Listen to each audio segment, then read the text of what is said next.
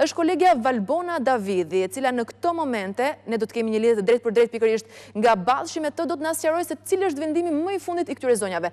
Valbona, të përshëndes, linja për ty. Po Fabiola, përshëndetje, është në fakt një vendimmarrje e detyruar nga kushtet ku po zhvillohet greva, por edhe nga koha e gjatë në cilën Ka kaluar kjo grevë urie e dhjetë naftëtareve të uzinës së Ballshit.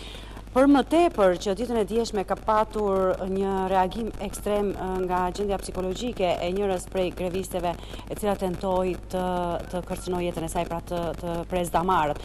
Me sa duket e gjithë kjo situatë ka mbërritur në një pikë të tillë ku që prej ditës së djeshme kur raportuam situatën e grevisteve mes të cilave edhe njërës prej zonjave e cila tentoi të kryente aktin ekstrem ka patur reagime dhe për këtë arsye sot ka një vendimmarrje. Është fjala për një le të themi tërheqje nga ana e naftëtarëve, pikërisht ajo tërheqje që kërkoi kryeministri që në fillim të grevës grevisteve të naftëtareve të Ballshit.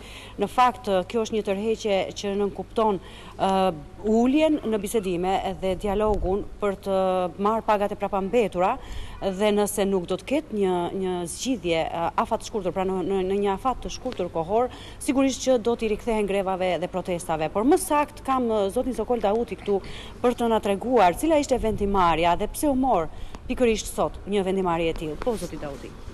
Po përshëndetje juve. Duke parë që greva e urisë prej një kohe të gjatë Nuk e kishte arrit qëllimin e saj sepse dihet që greva bëhet për t'u ulur palët në, është një vendim ekstrem dhe për t'u ulur palët në bisedime për të arrit një zgjidhje për kushtet ekonomike që ne kemi dhe financiare, duke parë një heshtje totale dhe agravimit të situatës, sidomos rëndimit të gjendjes shëndetësore të grave greviste. U diskutua me me palët, sidomos me gratë që janë në grevë dhe me kolegët që janë jashtë, dhe u pa e arsyeshme që ne ta dëgjojmë zotin kryeministër, meqë ai ka thënë që qeveria është e juaj dhe unë mendoj ditë e natë për një zgjidhje tuajën. Shpresojmë që të arrihet një kompromis dhe ne të marrim atë që na takon, gjithë detyrimet e prapambetura. A ishte kjo vendimmarrje edhe bazuar në atë reagimin e një dite më parë në lidhje me grevisten e cila tentoi të vrasë veten? Pra pati një ndikim edhe kjo gjithë kjo? Pati një sensibilizim nga ana e autoriteteve?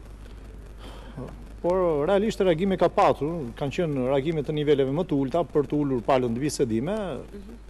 Nuk e kishim parë të arsyeshme duke parë që realisht dhe ne kërkonim garancinë tonë për t'u ulur dhe për ta arrit një zgjidhje.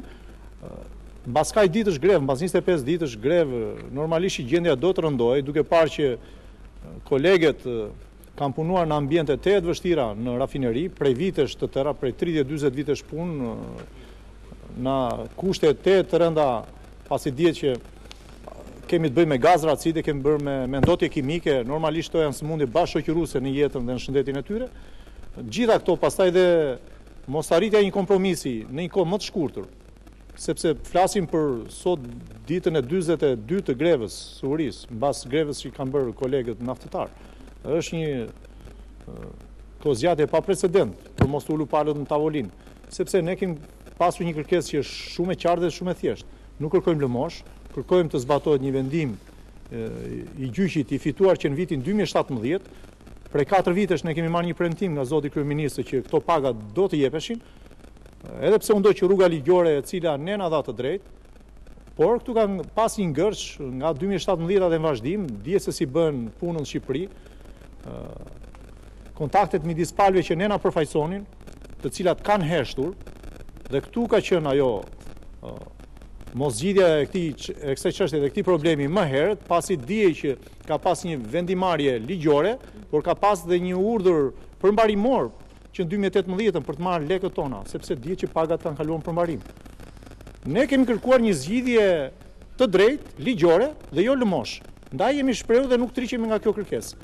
S'ka, asnjëra palë nuk na e rrëzon dot kërkesën për pagat tona. Pastaj se ç'do bëhet me fatin dhe ecurinë e punës në rafineri, kjo ngelet në opcionin e zotit kryeministër dhe qeverisë, nëse kanë diçka serioze, le ta ofrojnë.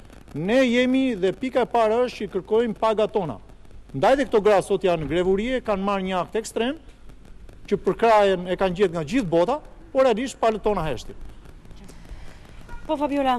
Valbona, ka një kusht, nëse do të ketë një bisedime, pra do të ketë bisedime me përfaqësues të qeverisë, atëherë këto zonja do të lënë grevën. Po në rast se nuk do të ketë një takim, çfarë do ndodhë? Pasi, kujtojmë edhe njëherë që kryeministri Edi Rama e ka thënë qartë që ky është një problem i një subjekti privat dhe nuk është problem shtetëror. Pra, le të themi, kryeministri e ka dhënë përgjigjen e tij. Pikërisht, këtë do donim të saktësonim tani që greva e urisë vazhdon dhe ftesa që i kanë bërë naftëtarët kreut të qeverisë është pikërisht kjo që të zbatojë atë premtim që tha, pra të vijë, të ulet dhe të bisedojë me naftëtarët dhe ndërkohë të ndalet greva e urisë. Pra, në momentin që një autoritet nga qeveria, një zyrtar, qoftë ky edhe kryeministri, sepse është folur Po diskutohet në fakt, ka patur zëra se mund të vijë vetë zoti kryeministër për të biseduar pra me me naftëtaret greviste dhe me pjesën tjetër të protestuesve.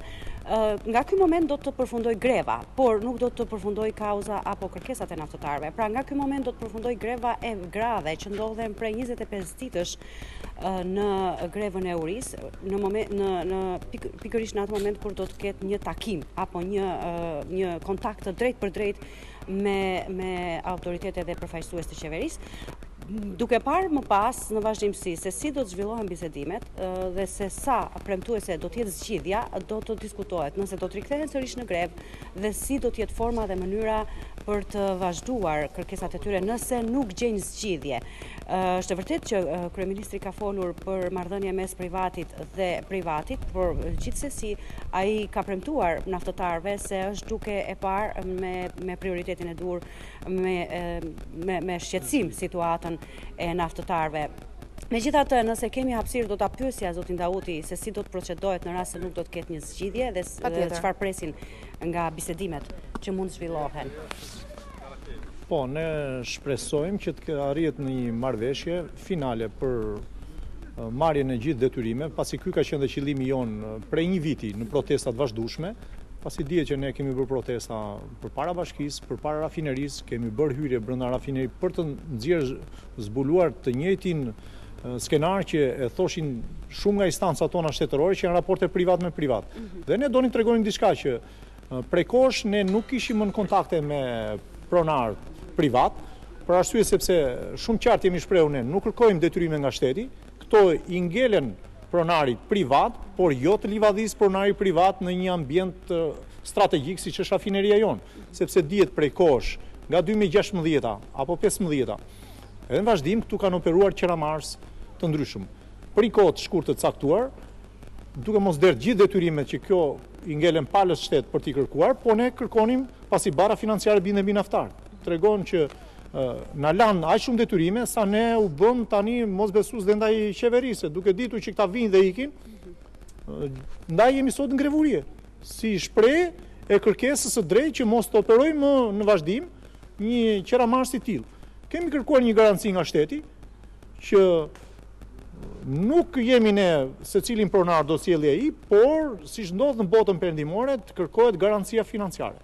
Garanci financiare do të thotë mbas një periudhe të shkurtër, ne mos rigjendemi përsëri në një grevë, për të njëjtat largohet në rast se largohet dhe për të njëjtat kushte që ne kemi o zgjidhen tani ose kur mos u zgjidhshim më.